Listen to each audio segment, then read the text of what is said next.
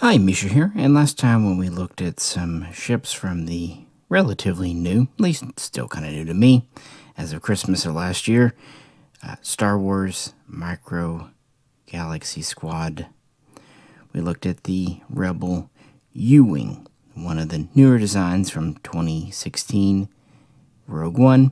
I think a film that everyone enjoys, if it's not their favorite. And it's a design I like and I think the uh, MGS team, Jazwares, did a bang up job with this. Very few, if any, criticisms. But now I wanted to look at the four classic Rebel starfighters from the original trilogy the Y Wing, the X Wing, the A Wing, and the B Wing. I actually held off doing this video until I finally got the B wing in, and then instead of getting right and doing it, I was too busy, and so I'm a couple of months late. So oh well. And uh, as I pointed out too, the old Micro Machines action fleet was uh, something I really enjoyed as a old child and teenager, and in fact, the action fleet B wing was literally the last quote unquote toy I bought at the tender young age of like 17 because it had just come out or 18 or I know friends were driving because we made a we were bored one day and we made an hour trip just to pick one up at a local Toys R Us. Pre-internet or at least early internet days guys. So you know that we go over these talk a little bit pretty informal We'll see how it goes. I thought about breaking this video into parts, but eh, probably won't unless it just really feels like I need to. But like I said, the U-Wing, or as it was known by Incom officially, the UT-60, was a big hit with me. But what about these? Let's find out. And we have to begin with the Y-Wing or as it was more officially known, the BTL. And this is the A4 variant manufactured by Koensayr. Now, the BTLB variant was used pretty extensively during the Clone Wars, and it had a crew of two plus an astromech. It was quite the bomb truck but was rather slow and while well armed, not necessarily that maneuverable or quick. The A4 was intended to be, at least optionally, a single seat, more of a patrol, and more of a fighter variant, but still a bomber. But whereas the B was purchased in quite large numbers by the Republic, the A4, not so much. Uh, yeah, there was also the S3 variant, which was a pilot co pilot arrangement, whereas the B was more of a pilot gunner arrangement. So there were several variations. And while most of the Bs were either destroyed during the Clone Wars or scrapped afterwards, the A4s, because many of them weren't directly under Republic control, were spared. They, many were slated to be scrapped, but were mm, appropriated by the nascent rebellion a couple years before the Battle of Yavin. And uh, other units were given or helped being stolen by the rebellion by sympathetic planetary governments, defense forces, what have you. Now, when the rebels got these, they further modified them. Now, some were in, in somewhat poor repair, and also uh, rebellions aren't really good at getting spare parts, so they had to be kind of kitched together anyway, just by their nature. But it was an effective fighter and they would further strip armor off, even shortening the nacelles, pylons, to try to get a little more speed out. In fact, they would often downgrade the proton torpedo or proton bomb load to try to eke some speed. And, and they really did. And the majority, if not all, that the rebellion used were single seaters, at least human. There was also an astromech. So here we have one. This was uh, the gold leaders from Yavin. It did not survive. But in the beginning, this was the primary starfighter the rebellion used, and it actually did quite well for them. Early on, the Empire didn't have very good defense against snub fighters. They were able to come in, hit a, a victory, or even Imperial Star Destroyer or installation, deliver their payload, and uh, get out before and that was really the rebellion's big thing. Whereas the Empire relied on capital ships and carriers, which there is a benefit to that. The rebellion had much smaller numbers and they operated independently because their vessels had hyperdrives. And they were kind of configured for longer durations. Everyone we're going to look at today carried up to a week's worth of consumables for the crew even longer if external pods were attached. And this one here had an astromech, and that was good. This had a class 1 hyperdrive, so quite speedy. And thanks to the astromech, it could usually carry up to 10 jump coordinates and make more calculations on the fly if needs be, although it wasn't ideal. Overall length of the modified version was uh, roughly 16, maybe 17 meters, and about 9 meters across. The one thing we're going to say about Star Wars uh, sizes are always in flux, so apologies. We have two forward facing fixed medium heavy laser cannon, a couple of different styles were used. And we had two turreted light ion cannon although usually the rebellion would just lock the cannon in the forward position, but not always. But the primary weapons were, of course, the bombs. But before we get into that, I like that these have landing gear or landing pads, and uh, they're pretty well integrated where they don't look too ugly.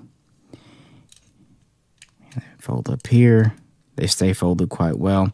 When I first got this Y-Wing, this front one was really stiff, so if you get one, be careful. There's kind of a hitch there. It's working in, but now it's still... So I just tend to go slow and not force it. And it latches. And they do a pretty good job of folding up conceal, but you have these little kind of thumb presses to get them out. You also get the engines disassembled so they fit in the box because, again, this pretty large craft. And they are a little hard to get in, but there's kind of a trick to it. They fit only one way, and once you get them locked in, they are rock solid. So don't force them, but you might have to put some pressure. Just make sure you're doing it right and it's going in this uh, plastic they use, which is honestly a lot better than what we had back in the 80s, is a lot more forgiving. It'll uh, flex before it just cracks or shatters. Anyway, I just wanted to mention that. Oh, you can also pull one of the engines out to see the insides. But the main thing here were the proton torpedoes, and we actually have two in the launchers. And you can even remove these, although it's a little difficult. I usually use like a soft plastic pick or maybe soft brass, and once you get them going, they kind of slide out. Yeah, you do get removable protons. And I really like just having removable parts like this instead of the old spring loaded firing thing that was really popular in the 90s For one thing, they were always way too big and clunky.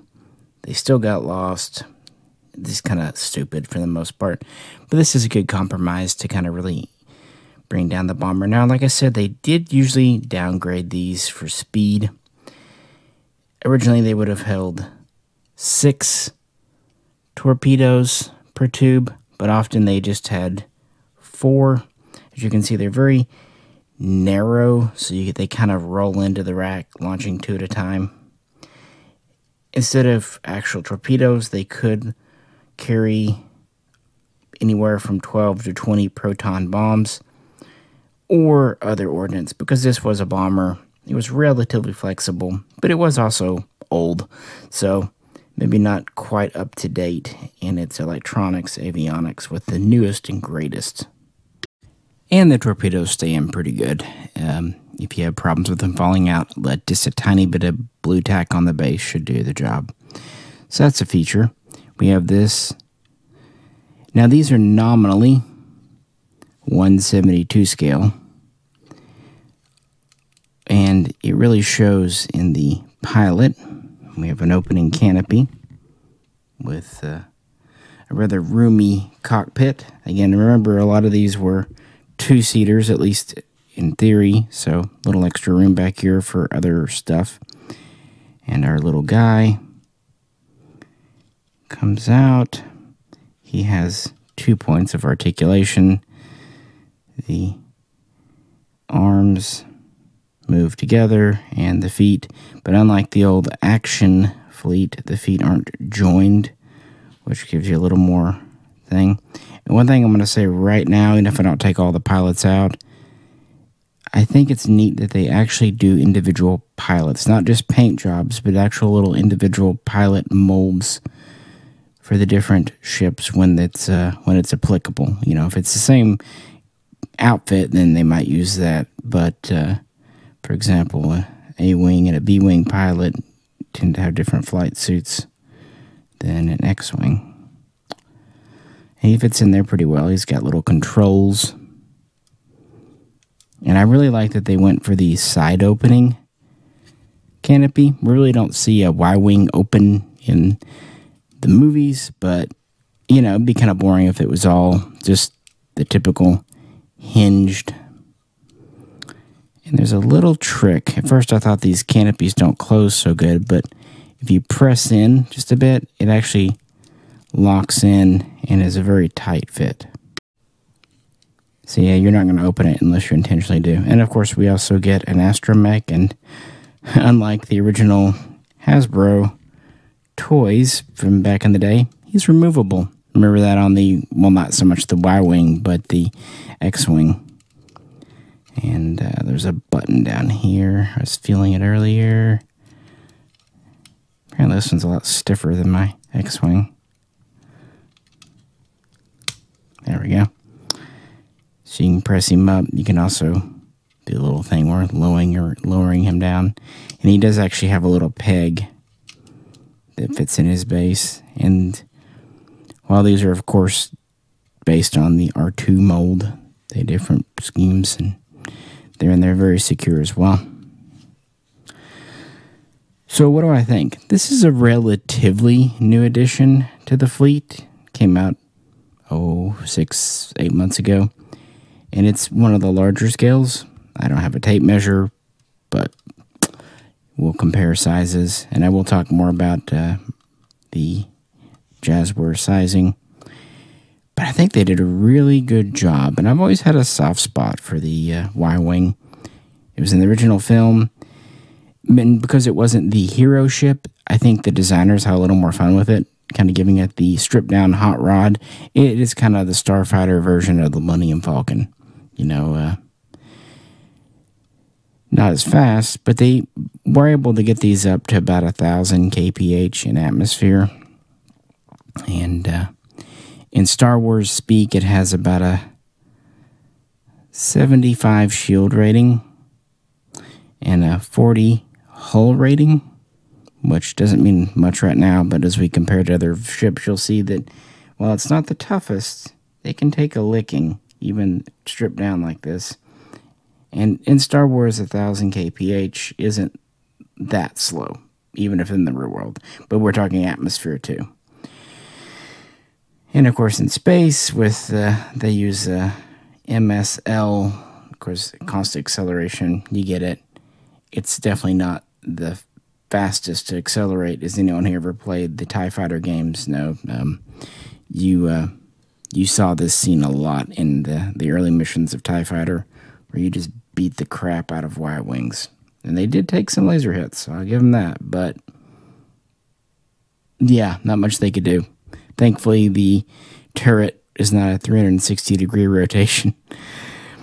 But you know, I it's it's a, it's a, it's a vessel I really do like, and um, I think Jazwares did her justice. You have no idea how nigh impossible it is to aim in a camera when you can't see. Anyway, we had to, got to talk about the X-wing, or as it was officially known by INCOM, the T-65B.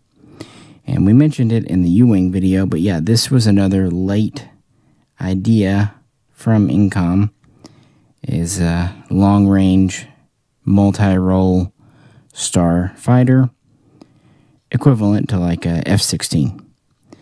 But the Empire didn't need it or even want it, and ultimately would lead to INCOM being nationalized. And this is, of course, one of the first mold that Jazwares came out with. I mean, this is Luke's.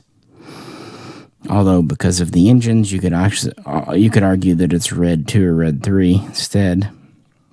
That's one thing I should point out. The whole engine are they even? Are they uneven? Technically, both. Uh, one of the studio models was pretty much even. One wasn't.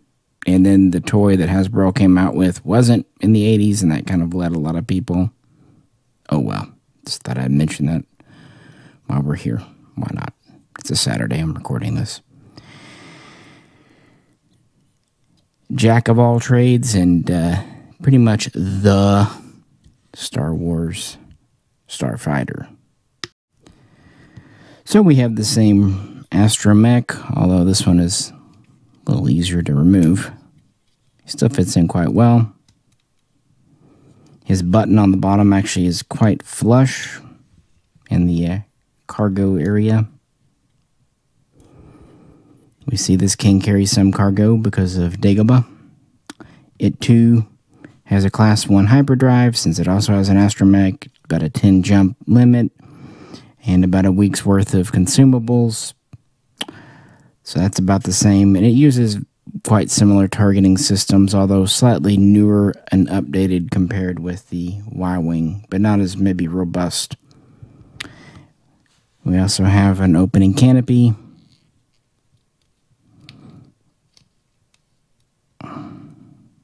Opens up a little further than probably would in the movie, just to get your figure in of Luke.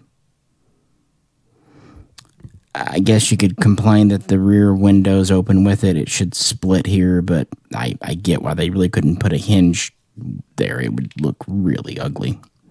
And then, of course, we have the landing gear. These aren't quite as incorporated when they're deployed as on the Y-Wing, but then again, this came out a couple years before.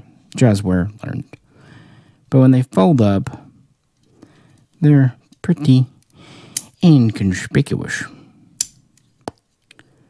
especially the front one. So, and if you're going to have to pick one to look better folded or down, I would rather folded because that's usually how I display. And actually folds up the S foils quite well. In universe, this is roughly 12 to 12 and a half meters and uh, about 11 meters wide, give or take. And uh, minimum top speed is about 1050 kph, especially when it's fully laden. But it's said that if shields are put at full effect, it can go faster. So it's faster than the stripped down Y Wing, quite a bit faster than the unstripped down Y Wing. And uh, that's carrying four laser cannon, medium power. There's a couple of different ones. They usually like the KX5 or the IX4 and uh, it can carry a total of six proton torpedoes, three in each launcher. So, actually, quite a heavy bomb load. And it's got quite an advanced targeting system for Star Wars, anyway. But, unlike the Y Wing, it's not near as flexible. While it can be retrofit to carry other ordnance, it doesn't like it. It's not meant for it. And it really can't carry like proton bombs to drop in. So while it has a bomber capability, yeah. Now, one thing it does have that the Y Wing doesn't seem to is it does have uh, countermeasures dispenser in the back, chaff flare, and all that. Now, we talked about the Y Wing's hull and shields. Well, this one's less. It has shielding of 50 and a hull of 20. So about half as strong on the hull and about two thirds on the shielding. But it's a lot more maneuverable, a little bit faster, and of course it has more forward facing firepower. And it's just generally speaking meant to be more of a dogfighter. And that, of course, gets us to the strike foils or S foil. There's one position, and there's actually another fully open. Now, how or why would actually spreading your guns further apart give you better accuracy? I, I don't know. It wouldn't, but this is a rule of cool. Hollywood, 70s, World War II in space. Just go with it. It's fun. An in universe explanation is it uh, gives better heat dissipation, which is true in space. Uh, getting rid of heat is actually very important, and I could actually see when the laser cannons are firing rapidly, splitting them apart, giving them more surface to dissipate heat would be more practical. It's about the only thing. They also had three different fire modes quad, so all at once, two and two, or, you know, all four in kind of a rapid pew pew fire, which is mostly what we see in the films. And uh, yeah, it uh, opens well, it's not rattly. And uh, the lasers are actually on the wings as they should be, not on the tips as you see on like the titanium and others sometimes. And the dimensions for this are pretty good. As I said, the T65B is about 12 and a half meters long, and the wishbone here, the Y wing, is about 16. So the X Wing is shorter. Now, is it exactly, you know, three and a half meters in scale, so whatever, it's shorter? Probably not. But this is what Micro Galaxy does. While they might not get them exactly to scale, if a ship is supposed to be shorter or longer than another ship, they at least try to do that, even if it's only by a half inch or quarter inch or whatever, just to, you know, show hey, you're supposed to be bigger or smaller than this ship. And having the pilots at one inch, so 72 scale, it keeps them pretty honest. It seems like a lot of the ships end up being more like uh, 176 scale, but some are 164 and whatnot in that range. Now, some outliers exist, like the Millennium Falcon, but what, what can you do? You got to have it, and no way can we do it in 172 scale for anything like this price point. And these are priced quite fair, in my opinion, typically about 15 to $16 as is, or about 20 bucks in a bundle with the Scout class. And comparing width, again, the X-Wing is about 11 meters, at least based on the studio model, maybe 11.5. And also S-Foils open or closed changes it slightly, and the Y wing is about eight and a half to nine meters. So they, they seem pretty well in scale with each other in the width department. Now, as far as speed, uh, you're going to have to test that out yourself. You throw yours across the room at the same time and tell me which one gets to the wall the fastest. Uh, I'm not going to do that. Even though I actually do think the price point's pretty fair. I've heard many say that, well, you know, it's a lot of money. This is 2024 go to an inflation calculator on Google. The old school action fleet, when they were just you know in stores, were uh, mm, eight to ten bucks. Thing is, the dollar is only worth about a third as much as it was back then. So, $8, so on the low end, means today it's about 24 So, not much more, but really they're right in the same kind of price range, give or take, not barring sales either way, my opinion. But, you know, your mileage may vary. All right, so we've made it through the first Death Star battle starfighters. And yes, we will get to the second battle, the Battle of Endor. But we're going to skip ahead briefly because about a year after that battle, which was four ABY, the New Republic was founded. And, well, it would need fighters. And while the venerable X Wing, the T 65B, was doing a great job, all things considered, well, it was pre galactic Civil War technology for the most part, and many of them have been put together under less than ideal circumstances. So, Admiral Ackbar and others really pushed for an updated version. Well, we might as well talk about the T 70 X Wing, the immediate successor to the venerable T 65B Again, the design that started off before the Civil War, but after Endor, even Admiral Ackbar was ready for a replacement, at least on paper, and this was to be just, you know, using newer technology. It was not a revolution, it was just an evolution forward, trying to address some of the issues. Keep in mind that a lot of the T 65s were prototypes, pre production, some were cobbled together in the back room, kind of like what happened with the A Wing. This was an idea to make it a standard thing. And you can pick which paint you prefer from Jazwares. This is the original.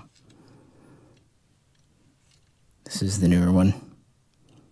I like this one because it comes with a astromech, uh, presumably R2. Now, I know in universe, some say this is actually smaller thanks to miniaturization to the T65, but that doesn't really fit for my head. So the fact that this is essentially the same size as the T65, fine by me. Landing gear. It is sleeker though. Especially looking at the engines, of course.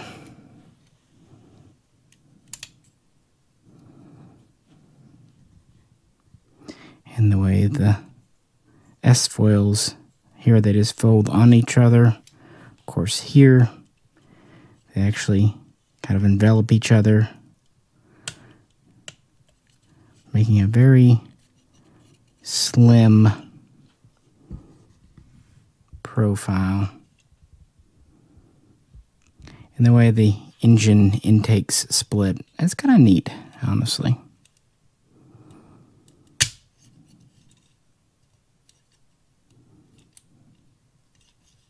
Yeah, very slim wing. And that's actually okay um, because, well, all they really did was copy an original concept from 1975. Here is the so called concept or prototype X Wing from Hot Wheels. It's a series they did. I don't like the big screw holes, but yeah, notice the split engines. The way they did them.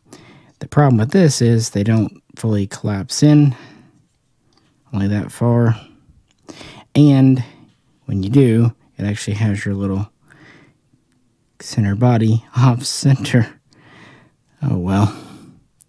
Again, the Hot Wheels were, I want to say bottom. They were inexpensive, fun, and they did some really neat molds that no one else did. So I'm not going to dog on them. But yeah, kind of taking inspiration, especially in the engine area, from the concept, we got the T70 in the real world.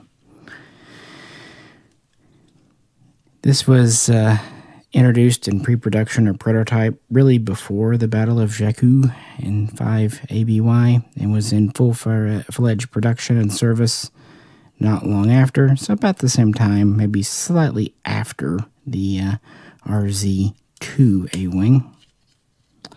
This was the frontline superiority fighter. And really, what they did okay, new avionics, electronics targeting, sure, still uses an astromech. It's a little faster, about 1100 kph without assistance. Slightly stronger shielding, but not by a whole lot. A little more hands off, a little more automation. But what they did was they made it more modular, whereas the original X Wing really didn't carry much more than proton torpedoes, not without a lot of finagling. This could. It could carry concussion missiles, it could carry uh, Magpulse warheads, it could even carry ion bombs. It still wasn't a bomber, but yeah, it could even have additional lasers mounted. And of course, the lasers themselves were uprated version. The X Wing we know and love had the KX5. These were KX12s, so improved models. It had more electronic countermeasures, relying less on chaff and flare. Even had some mild stealth abilities, which maybe explains the whole black paint of this guy.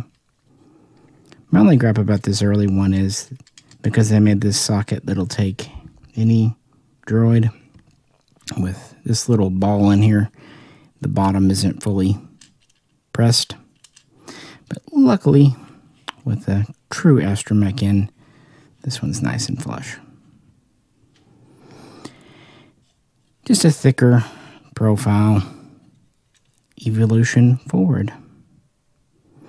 And uh, this would be the frontline Starfighter up until about 26 ABY for about two decades when it itself was finally replaced by the further improved T 85, which was a little bit larger, more uh, long ranged, and even more advanced. Of course, it's still Class 1 hyperdrive, all that good stuff. Yeah, I don't hate it. Um, and I, in fact, I kind of find the folded wings neat. And they're very stiff on this one. Of course, this one's uh, relatively new from Series 5.